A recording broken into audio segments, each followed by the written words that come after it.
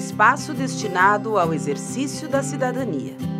Assim, 1.025 estudantes da rede estadual, oriundos de escolas dos municípios de Piraquara, São José dos Pinhais e Curitiba, chegam à Vila da Cidadania para a prática do ser cidadão. Os estudantes atendidos entre 11 e 18 anos são indicados pelas escolas por apresentarem situações de vulnerabilidade social e dificuldades de aprendizagem. O trabalho desenvolvido aqui na Vila é com crianças e adolescentes do ensino regular do Estado do Paraná. Aqui a gente recebe as crianças em contraturno escolar. Ao chegar aqui, eles escolhem as oficinas que eles desejam participar.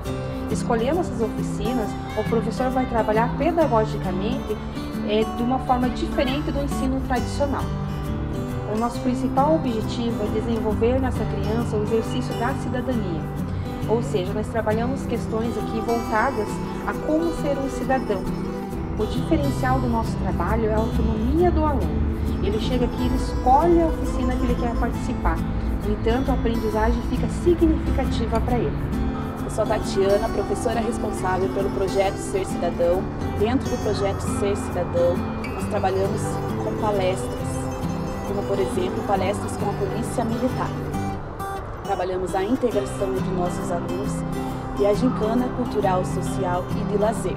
Eu gosto bastante de vir para cá porque não é um lugar como na escola que a gente fica dentro de uma sala de aula aprendendo. Aqui a gente pode interagir e desfrutar de tudo que a vila oferece. Mas também a gente aprende como ser cidadão, tanto aqui dentro quanto lá fora. Olá, meu nome é Guilherme, eu tenho 12 anos e estou aqui na vila faz um ano. Em Taekwondo a gente, a gente não aprende só lutar, a gente aprende a se concentrar para a escola. Porque tem momentos na escola que alguém vem e te provoca e você tem que ter a, a, a, a mentalidade que se você agredir aquela pessoa, você vai, você vai se prejudicar. Não prejudicar só a pessoa, você vai se prejudicar. Não ajuda a gente só na educação, ajuda a gente para a vida.